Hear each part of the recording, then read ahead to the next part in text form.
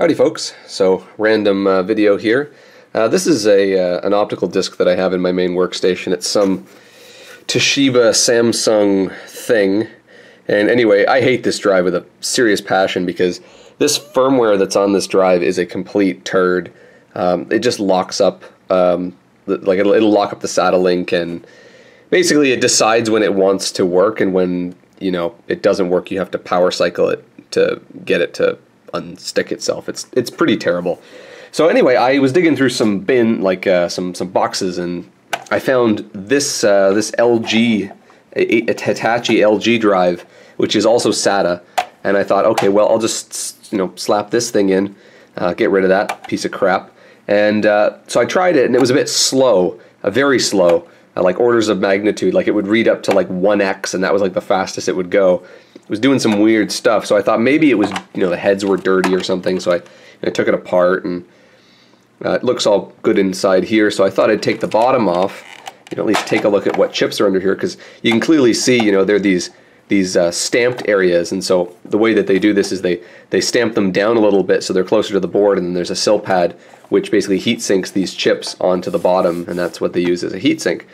So I take the screw out and then I lift this off and it's a little sticky because of the sil-pads. And this is what I find inside. And so I'm I'm not I'm not making this up. Uh, I swear on my life, this is how it was when I opened it. There was this, which is a an ASUS case badge sticker on top of this main Panasonic uh, controller IC.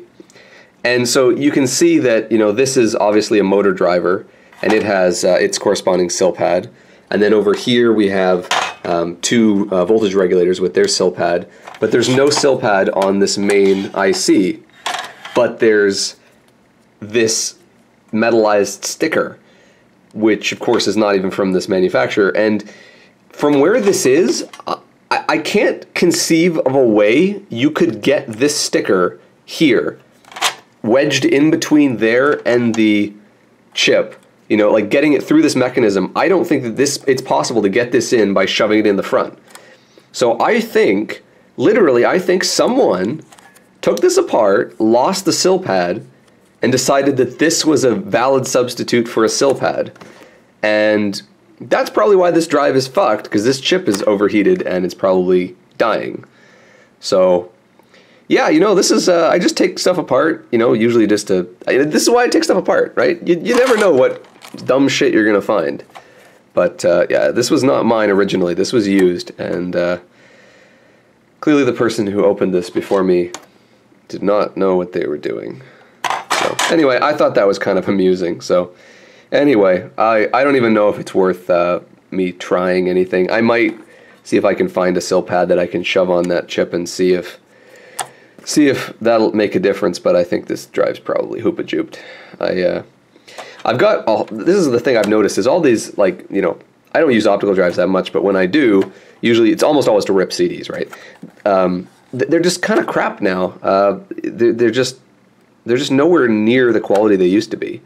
Uh, I have a whole bunch of old IDE, you know, PATA drives, and they're like rock solid, built like a tank, both mechanically and electrically and they've never given me any problems.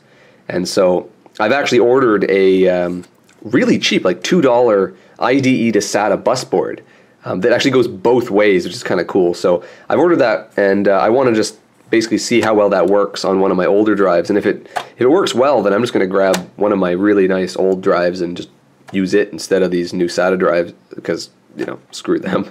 Uh, like I've got this NEC drive from early 90s. That thing weighs like three times what this does. And I mean, the mechanics in that are just amazing. So, yeah, I don't know. Optical drives suck, and clearly people suck. So anyway, that's all I wanted to, that's all I wanted to share. I just thought that was funny. So, as always, thanks for watching.